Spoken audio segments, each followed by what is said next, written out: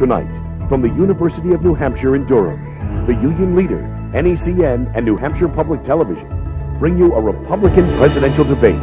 Now, the moderator for tonight's debate from NBC, Tim Russert. Good evening. We welcome our six Republican candidates. Time is precious. Let's start the questioning. Jenny Attiyeh, you're next.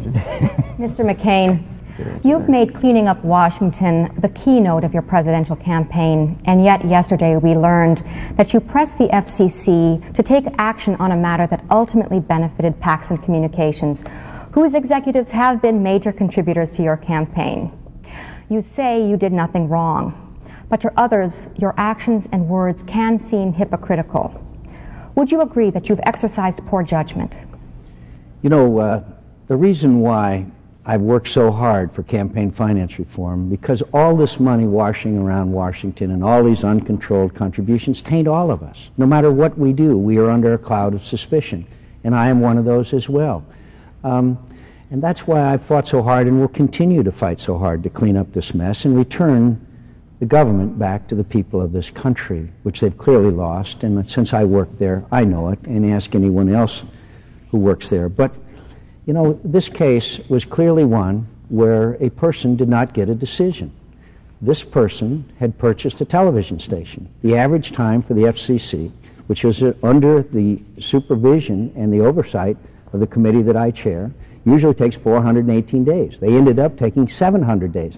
At 700 days, I said, I wrote to them, make a decision. Now, eight other congressmen told them to vote for or against this. I didn't. I said, make a decision. My job as chairman of the Commerce Committee, as every other major commerce uh, co committee chairman in Washington, is to make the bureaucrats work for the people, and that has to do with making decisions. I would do the same thing again at almost any time. Well, for a man who rides the Straight Talk mm -hmm. Express, that wasn't the yeah. most forthcoming of answers. Let me just ask you again. Well, what, what was not forthcoming you, uh, about it? Did you exercise poor judgment, do you think? Uh, I said no at the beginning, but I, I don't know how to be more forthcoming. I'd be glad to elaborate. This was a decision that had been delayed for over 700 days.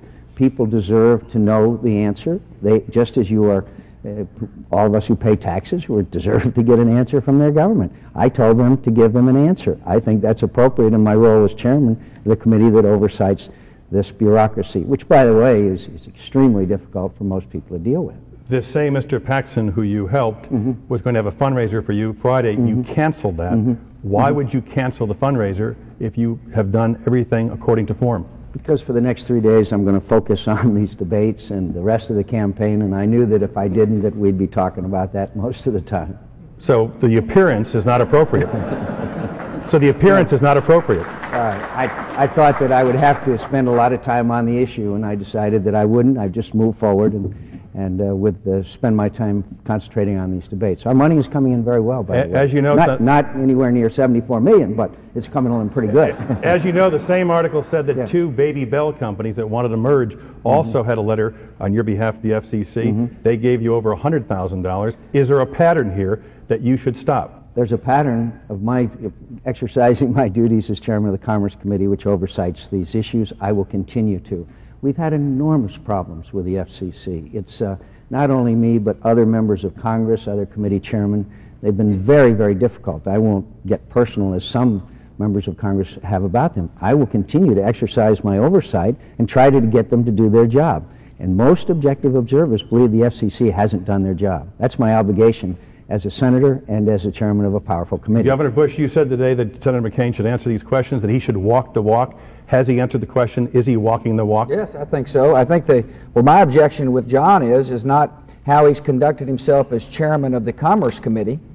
My objection is is he's proposing a campaign funding reform that will hurt Republicans and hurt the conservative cause. He's asking us to unilaterally disarm, which I will refuse to do. But you have no problem with him. I thought his answer was fine.